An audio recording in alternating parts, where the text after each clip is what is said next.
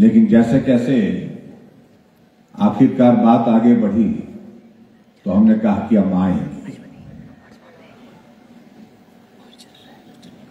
आपकी भावनाओं से भरा संदेश पिछली बार भी प्राप्त हुआ। लेकिन हम नहीं पहुँच पाए उस वक्त। और उस कमी को मैं पूरा करना चाहता था। लेकिन बीच में कुछ बाधा और आ गई। जब यहाँ जिस स्थान पर हम ये कार्यक्रम का आयोजन कर रहे हैं, इस कार्यक्रम के स्थान को की बुकिंग थी शायद। फिर बात ये चली कि कैसे हो पाएगा? हमने बात करी, सब साथियों से हमने कहा कि आगे हमने कहा, एक दिन आगे पीछे करिए, चौदह से करिए। उन्होंने कहा कि तेरह तारीख से हमको करना ही है। एक कार्यक्रम हम बारह तारीख से कैंसिल कर सकते हैं। तो हमने जानकारी दी। और फिर ये तय हुआ कि 12 तारीख को आज के दिन इस कार्यक्रम का आयोजन करेंगे, लेकिन मेरी बहुत महत्वपूर्ण बैठक थी। और उस बैठक में रहना मेरे लिए आवश्यक था, इसलिए मुझे लग रहा था कि मैं दोपहर के बाद ही यहाँ पर आ पाऊँगा अब संयोग देखिए। आप लोगों की भावनाएँ कितनी जो है वो मज़बूत थी। जो हमारी बैठक थी, जो महत्वपूर्ण बैठक थी, वो बैठक ही कैंसिल हो गई।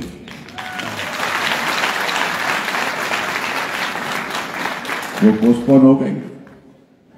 रात को संदेश मिला तो हमने कहा कि आपका कार्यक्रम किस वक्त होता है? वो तो हम 11 बजे के बाद शुरू कर रहे हैं। तो हमने कहा, हम साढ़े ग्यारह बजे हम आ जाएँगे। और आज सचमुच में बहुत खुशी हुई मुझे आप सबके बीच में आकर के यहाँ। मैं समय पर भी पहुँच, हम समय से थोड़ा देर पहुँचे, लेकिन उसके बावजूद आप लोगों ने हम सबका यहाँ अभिनंदन किया, स्वागत किया, उसके लिए मैं आपको हृदय से आपका आभार करता हूँ। इस राज की कहानी बहुत, हमारी बहुत, विचित्र है, विकृत है। जब हम कॉलेज में पढ़ते थे, उस वक्त कॉलेज में बच्चे बहुत कम होता था। प्राइवेट कॉलेज होता था और दूसरा कॉलेज होता तो मंडी होता था। मेरे साथी मेरे घर वालों ने कहा कि आप कॉलेज पढ़ना तो चाहते हैं। मैंने भी जिद की कि मैं जाना है, लेकिन घर वालों ने कहा कि हमारे पास आपको पढ़ाने के लिए साधन नहीं है। और पढ़ाई छोड़नी पड़ी। दो साल तक घर में रह करके खेती की। दो साल तक घर में जाकर के घर में रह करके हमने पशु चराए। जो गाँव में जो भी काम होते हैं मढ़ती में जाते थे, मैल फेंकते थे, शादी होती थी, बर्तन बांटते थे, वहाँ पतले बांटते थे, पानी बांटते थे, सारे सारे जो काम होते गाँव के, वो सारे काम किए।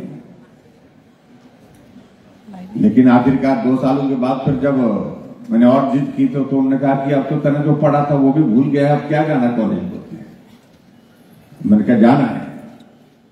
फिर कॉलेज आए और कॉलेज में आकर के एक अलग दुनिया में एक तरह का वो प्रवेश था हमारा, समझ लीजिए। बहुत कुछ देखने को मिला, बहुत कुछ सीखने को मिला। और पढ़ने के लिए भेजा था, लेकिन आज भी मुझे इस बात का मलाल है कि पढ़ाई हम। कर तो ली हमने, लेकिन ठीक तरह से कही नहीं। और ही काम में लग गए। ज़िंदगी में कई बार, ऐसा मोड़ आता है जिस बात को आपको मान के चले। जो आपने तय किया है, वो हासिल होता है। ऐसा भी ऐसा भी नहीं है कि नहीं होता है। लेकिन ये भी सत्य है कि ज़रूरी नहीं जहाँ आप जिस लक्ष्य को हासिल कर रहे हैं हासिल करने के लिए आगे बढ़ते हैं, कई पड़ाव आते हैं। ऐसा अपने जीवन में भी आए।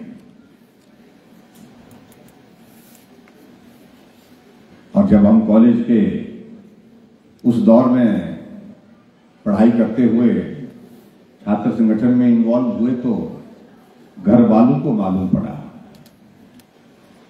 और हमारे कुछ लोगों ने भी इस बात के लिए कहा कि लड़का बिगड़ गया है। अब इसको घर बिठा दीजिए ऐसी बहुत सारी चीज़ें हुई दो महीने, चार महीने के बाद जब घर जाना होता था तो घर वाले खूब क्लास लेते थे और हालात भी ऐसे थे। और सभी बोलते थे कि भाई, तेरा कुछ नहीं हो सकता है। और हाँ ऐसा लगता था, हमने कहा, बहुत सारी चीज़ों को हमने छोड़ दिया था, ऊपर वाले पर छोड़ दिया था देवी देवताओं पर छोड़ दिया था। लेकिन फिर भी मुझे इस बात की खुशी है कि एक रास्ता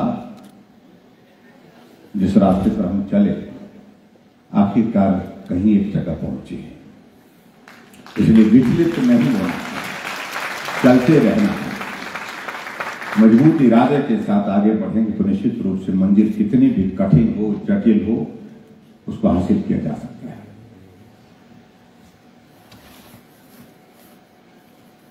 श्राद्ध के संदर्भ में मैं अपनी बात कह रहा था। श्राद्ध एक बहुत महत्वपूर्ण घटना जो आपको रहनी चाहिए ध्यान मेरी विधानसभा क्षेत्र श्राद्ध के साथ आदमी आत्मीयता रहनी चाहिए, एक जुड़ाव रहना चाहिए। ये हमारी संस्कृति का हिस्सा है, ये हमारी पहचान है। इसको अलग हो करके नहीं जीना चाहिए। इसलिए हमने श्राद्ध पूरा वैली तो एक जगह तो है नहीं श्राद्ध पूरे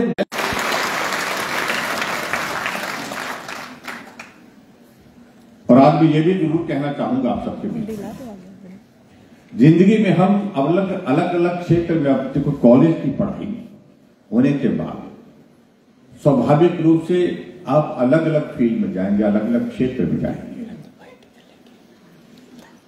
सभी ना तो मास्टर बन पाएँगे, सभी ना तो प्रोफेसर बन पाएँगे, सभी ना तो डॉक्टर बन पाएँगे, ना इंजीनियर। की संस्कृति को जीवित रखने के लिए श्राद्ध के साथ अपना संबंध हमेशा के लिए बनाए रखें, ये बहुत आवश्यक है।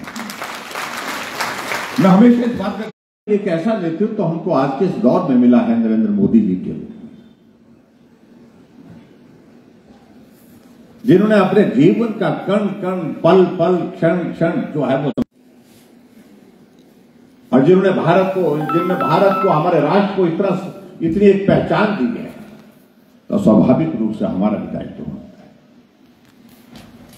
उस पहचान को मज़बूत करने वाले को हम भी मज़बूत करें।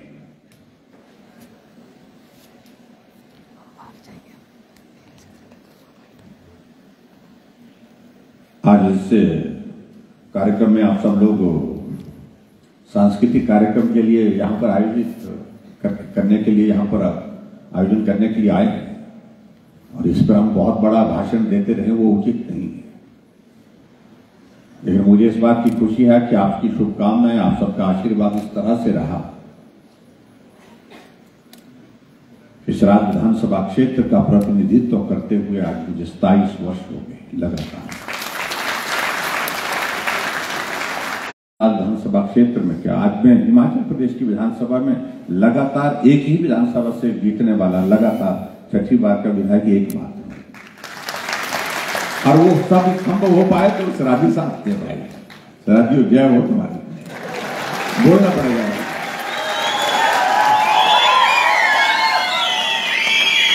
और हम बोलते हैं, भाई, जब शराबी है शुरू लगता है ना तो फिर ज़ोर के लगता है।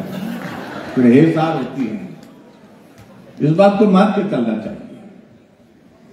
कई लोग बोलते थे कि बड़े नेता हैं, ये बहुत बड़े नेता हैं, दूसरे दो बड़े बड़े नेता रहेंगे, हिमाचल में ज़िक्र कर नहीं करो। लेकिन आप सबने इस तरह का प्यार दिया, इस तरह का स्नेह दिया समाज के लोगों ने, कि हिमाचल प्रदेश में बड़े बड़े नेता रहने के बावजूद भी जीत, मार्जिन का जीत, जो जिस जीत का जो मार्जिन है, अठतीस हज़ार किसी का नहीं किसी का नहीं। अट्ठाईस हज़ार बाईस हज़ार तक आज से पहले रहा हम ज़िंदगी में मैं कितने भी जन्म दू मैं तो शराब का ऋण चुकता कर ही नहीं सकता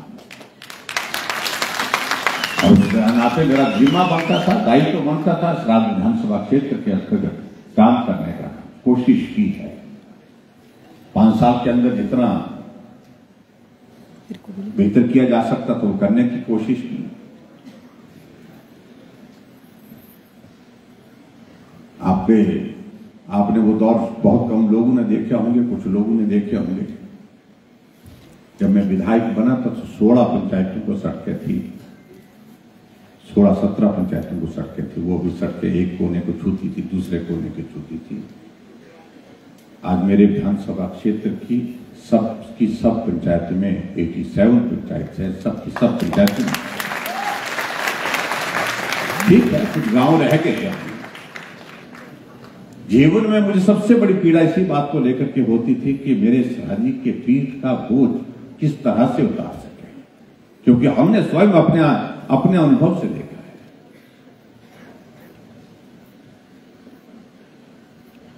लेकिन अब परिवर्तन आया है, अब उस दिशा में हम आगे बढ़े हैं और हमारे यहाँ डॉक्टर जनक जी, ये भी इनका, ये इनका इलाका भी हमारे इलाके की तरह है, भरमौर का इलाका, पांगी का इलाका। तो यहाँ पर जब सराजी फ़ैशन कर रहे थे यहाँ पर तो पूछ रहे थे कि भाई ये शादी है सारे मैंने कहा, ये शादी है। अब ऐसे सराजी नहीं रहे हम, मैंने कहा, बहुत बदलाव आ गए बहुत बेहतरीन ढंग से आपने प्रस्तुतियाँ दी हैं। और अच्छे कलाकार हमारे यहाँ पर सराज विधानसभा क्षेत्र से रहे हैं। और आप लोग भी अच्छा कर रहे हैं। कॉलेज के ज़माने की ये जीवन जो है ना, जो कॉलेज का जो आपको जब पढ़ाई करिए ये ज़िंदगी का सबसे बेहतरीन बेहतरीन पड़ाव है आपके जीवन। का कई बार हम सोचते हैं, अपना भविष्य की चिंता स्वाभाविक रूप से होती है। बहुत सारी चीज़ों की चिंता होती है, परिवार की चिंता होती है। लेकिन आगे का पड़ाव जो है वो और कठिनाई का होता है। मैं भी जब कॉलेज में पढ़ता था तो ज़िंदगी का मैं महसूस करता हूँ कि वही एक ऐसा एक कालखंड था जैसा एक समय था जो एक स्वर्णिम था। उसके बाद तो आदमी कई हिस्सों में हो जाता है परिवार की जिम्मेवारी समाज की जिम्मेवारी, ये जिम्मेवारी, अपनी जिम्मेवारी, बहुत सारी चीज़ों को लेकर के। इसलिए इस जीवन को अच्छी तरह से जिए। ये बहुत आवश्यक है। और हमेशा अपने मूल से जुड़े रहो। अपनी संस्कृति, श्राद्ध की संस्कृति। कभी कभी बीच बीच में अपनी जब श्राद्धी मिल जाए तो श्राद्धी में बात किया करो। अब हम कभी गाँव में जाते हैं तो हम दादू बैठा है तो हम हिंदी में ही बात करते थे। वहाँ श्राद्धी में बात करो ना तो जैसे वो जो अच्छी तरह से समझ सकते हैं।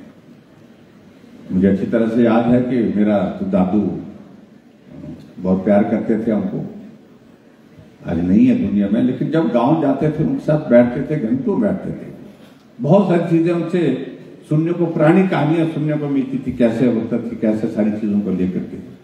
लेकिन अपनी अपनी पहाड़ी संस्कृति में, अपनी पहाड़ी भाषा में बात करने का मज़ा तो इसलिए पहाड़ी भाषा को मत भूलिए। पहाड़ी पहाड़ी भाषा को हमेशा कॉलेज में भी बोलते रहो थोड़ी थोड़ा। जब भी, जहाँ भी जाते हैं। तो इसलिए ये बहुत आवश्यक है। मैं आज के इस आयोजन के लिए सभी साथियों को चमन जी और इनकी सारी टीम को बहुत बहुत बधाई देता हूँ। बहुत शुभकामनाएँ देता हूँ।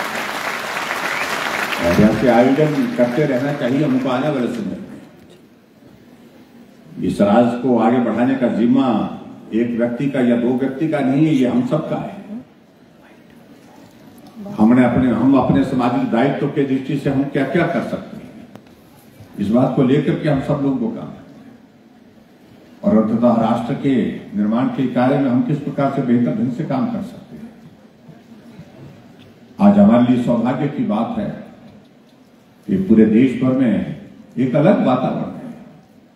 ठीक है, धर्म के नाम पर चर्चा, आस्था के नाम पर चर्चा तो होती रहेगी लेकिन ये कालखंड हम सब लोगों के लिए सौभाग्यशाली है कि भगवान रामचंद्र जी के जन्म स्थान पर बहुत लंबे समय से मंदिर का निर्माण के लिए जो संघर्ष चल रहा था, वो अपने लक्ष्य को प्राप्त हुआ है।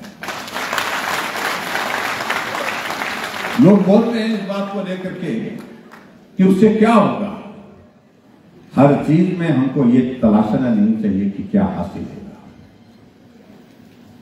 और मैं कह सकता हूँ कि हमने भारत में इस पड़ाव को जो हासिल किया है, ये बहुत बड़ी उपलब्धि है। हज़ारों की संख्या में जीवन की कुर्बानियाँ जिन लोगों ने दी आज, भव्य मंदिर रामचंद्र जी का बन करके वहाँ पर प्राण प्रतिष्ठा का कार्यक्रम हुआ। और इस पीढ़ी को ये काम, अपने ये काम ये काम होते हुए अपनी आँखों से देखने का सौभाग्य प्राप्त हुआ, इसलिए हम सब लोग सौभाग्यशाली हैं। मित्रों, यही बात को कहते हुए आओ हम आगे बढ़े। और जहाँ पूरे देश भर में इस बात को लेकर के आजकल के दौर में एक माहौल है, एक लोकतांत्रिक व्यवस्था के अंतर्गत जो हम एक पड़ाव में चुनाव के करीब पहुँचे। आओ हम खुले मन से सोचे, इस राष्ट्र को कौन आगे बढ़ा सकते हैं? इस राष्ट्र का जो कार्य कौन बेहतर ढंग से कर सकते हैं? उस दृष्टि से खुले मन से विचार करते हुए हम सहयोग करें, समर्थन करें।